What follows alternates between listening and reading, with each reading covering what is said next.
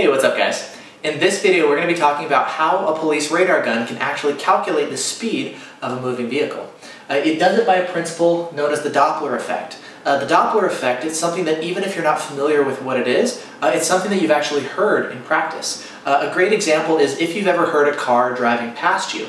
Uh, if it's driving towards you, you'll hear you know one sound from the engine, but then as soon as it passes you, you'll hear the sound, the pitch of the engine actually drop, even though the engine isn't changing at all. Why is that? Well, what's happening is the sound coming from the engine, it's a sound, you know, and so it has a certain frequency for the pitch of that sound. When the car is driving towards you, that sound wave that it's emitting actually gets compressed to a certain extent due to not just the sound of the engine, but also the movement of the vehicle. That's kind of compressing the sound wave, which is leading to a higher pitch when the car passes you, what happens is that sound wave, rather than getting compressed, is now getting stretched a little bit. And when it gets stretched, it'll now translate to a lower frequency signal, and that lower frequency signal will translate to your ear as a lower pitch. That's why you'll hear the sound of a car change when it passes you.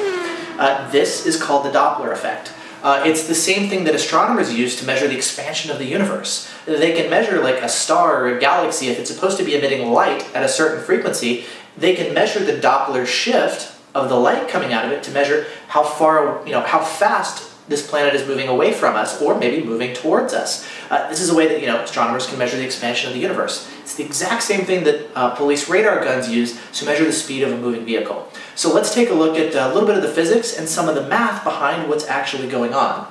So uh, here's the way it works.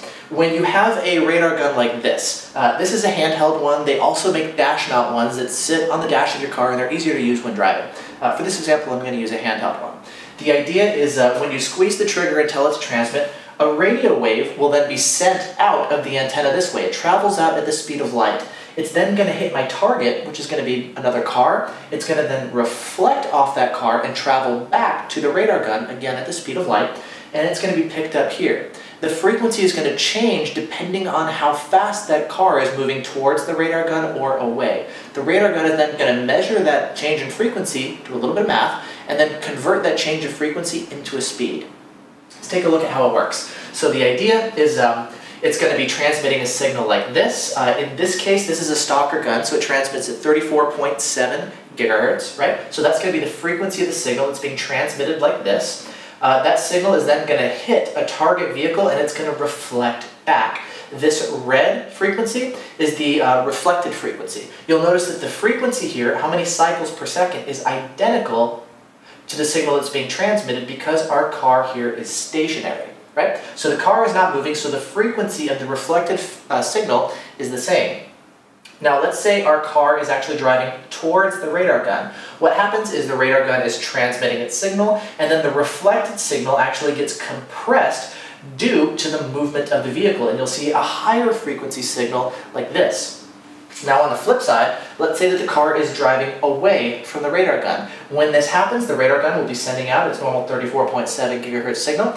Uh, that signal, when it gets reflected back, is going to slightly get stretched out due to the movement of the vehicle moving away from the radar gun. So that's kind of what's happening with the physics. The radar detector is going to, or not the radar detector, the radar gun is comparing the transmitted signal frequency with the reflected frequency.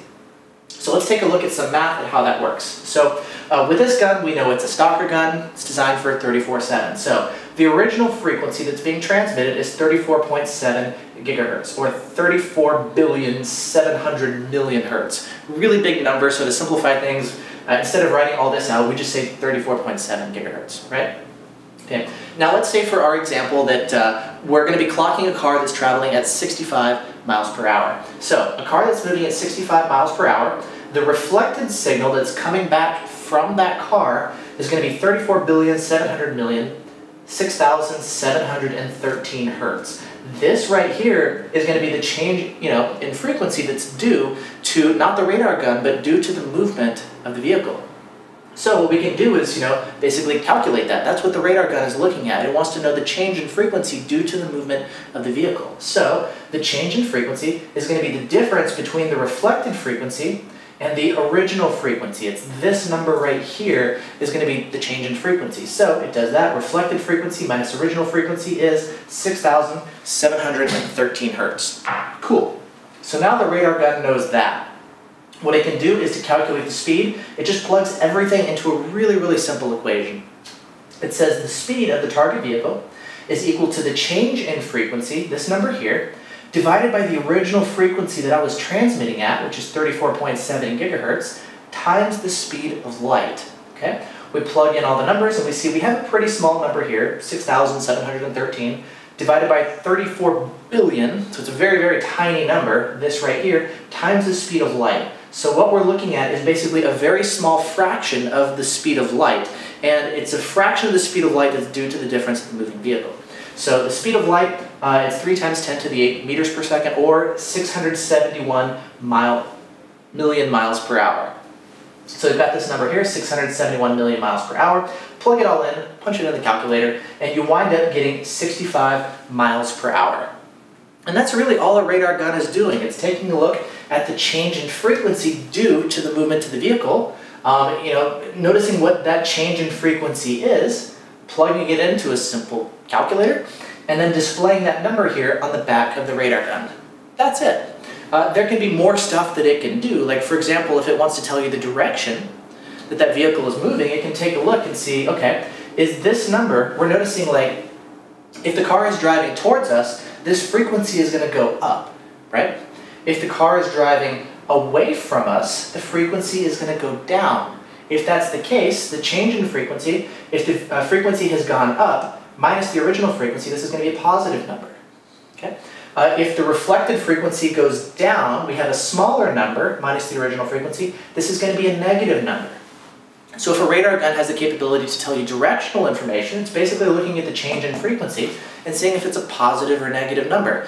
Uh, if it's positive, it'll say that vehicle is coming towards us because the frequency is going up. If this number is negative, the frequency is going down and therefore that vehicle is moving away from us. That's it. So all the radar gun is doing is just taking a look at the change in frequency and then just doing a little bit of math. Very simple. So now you know.